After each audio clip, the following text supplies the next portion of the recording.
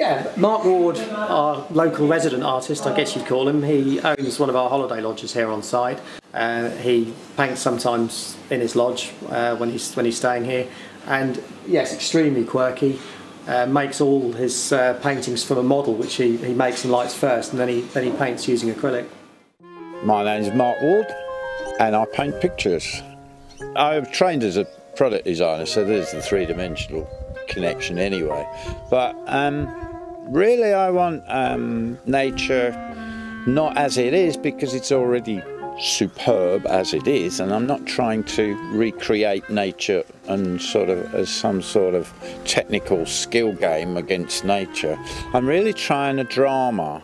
Um, I'm trying to put my creatures on stage, so they're characters, and they go on a stage, and I put them on a stage, and then I paint them. So everything I paint is a still life um, of everything that I see around. Um, but now more and more because having this place in Norfolk, um, they're Norfolk creatures. So herons, I've got a, a, nest of herons here.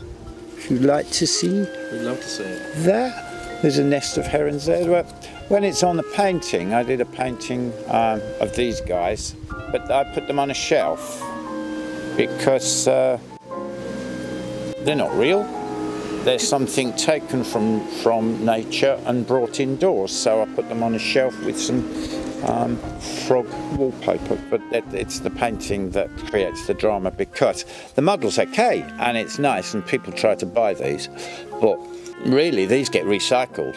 These will appear in other paintings, but what is more important in the painting, you get lighting and then you get the stage setting. So it would be a little bit like taking a, if you just had the model, it would be a, bit like taking somebody off stage and then just standing them in the, you know, in the room. It's, it doesn't work because they need to be performing in that stage, in that setting. So it's the total thing, you know.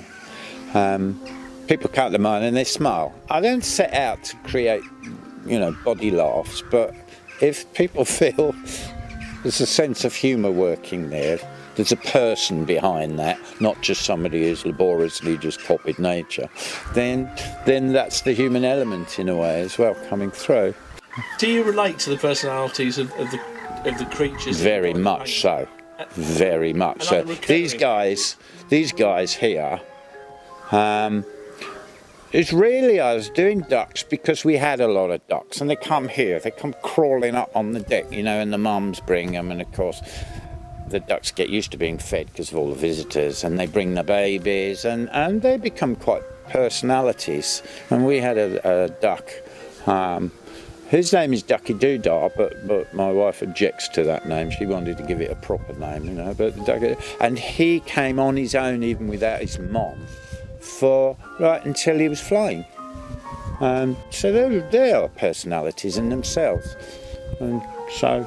We, we heard that there was an artist in, a pun intended, an artist in residence um, here and, and looking out over the sometimes bleak.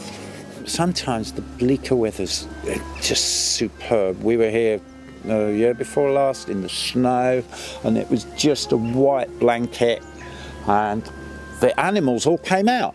And we had weasels on that side, stoats on this side, hares.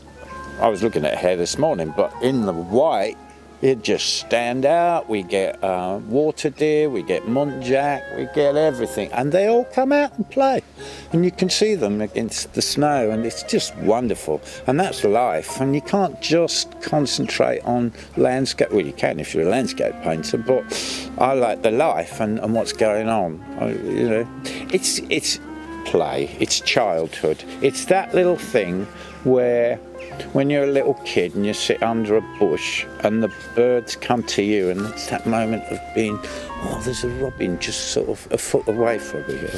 I know that, that there are some artists who, when they're showing, you know, don't attend the gallery. Um, you have placed yourself in the most difficult position of having the, your work hung on the walls of the pub. I know. I know. Yes, strange. Um, well, James asked if he wouldn't mind me putting one or two paintings, so I brought the collection. loaded up the truck. In fact, we loaded up two cars, brought some and said, choose from that. And he said, I'll have them all. So now the, the pub is wallpapered with my stuff now. Yeah.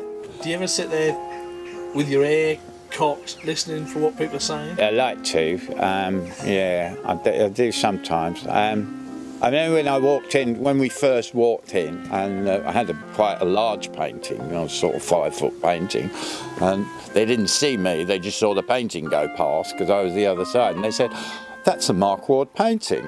Really? Yeah, Oh, nice. without realising Mark Ward was the other side of the painting. so that was quite nice, yeah.